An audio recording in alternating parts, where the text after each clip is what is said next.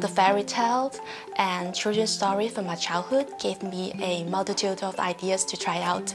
I try to use as much color as I can. I I want to make it look like a, a children's book illustration a real, with a real life person.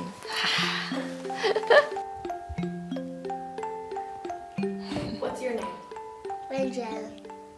The pictures that I took uh, two years ago, well, all of them are when he was sleeping. But now, uh, as he is a toddler, I took picture for him, but with him being awake. I'm going to use a blue bedsheet as the background. I start simple with just very, very, very simple background, like a piece of cloud and the sun. And then gradually, I make my own twist and make it more uh, sophisticated. The background materials, the materials are mostly uh, plain clothes, books, toys, stuffed animals. I use skirts as a moon, a belt for a snake, socks for fish, and even toilet paper and dollar bill.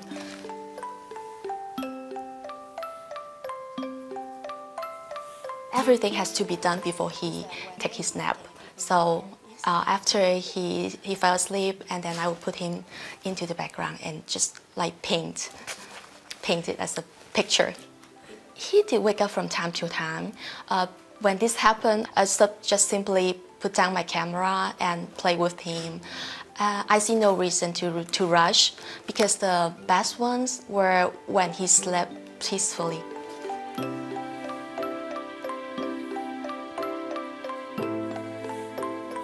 My favorite photo of the whole series um, is this one uh, on the cover of my book, The Star Catcher. These pictures uh, reflect my dreams uh, and my hope for my baby, Wengenn. I want to see him growing, reaching his dream and goals like that.